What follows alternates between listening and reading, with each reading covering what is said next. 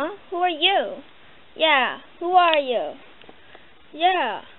Well, I swear, if you hurt Steve... Yeah, if you hurt Steve, we're gonna kill you. You hurt Jerry.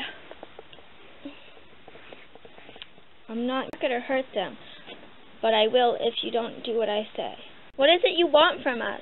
Yeah. Yeah. Come on, get down here and fight us.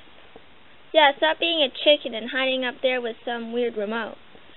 I think it's a bomb, like, trigger thing. Did she, like, have them in a bomb? Most likely. I'm not here to fight you, but I need your help. Ask for it. We're willing to give you our help. Yeah. You don't have to kidnap our friends. The only way I'll know you won't do anything stupid or go behind my back and try to get back home. You're in Webkinz World now.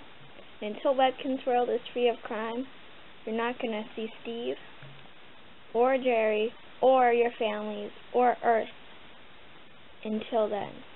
You're going to keep Steve and them locked up? I mean, how much crime is there in this place? It could take like a hundred years. Yeah. How do we know you're not going to just keep them there and there's no point in trying anyway? Fine. You have to solve this first case and then I'll give you Jerry. And then if you solve the next case, I'll give you Steve. Is it a deal? It's not like we have much of a choice. Yeah, I agree. Me too. Yeah, anything to get our team back together. I agree too. Yeah, I guess. Settled. We'll solve the crimes of Webkinz. We'll do it! Good. Now I'll be off then. Let's check this place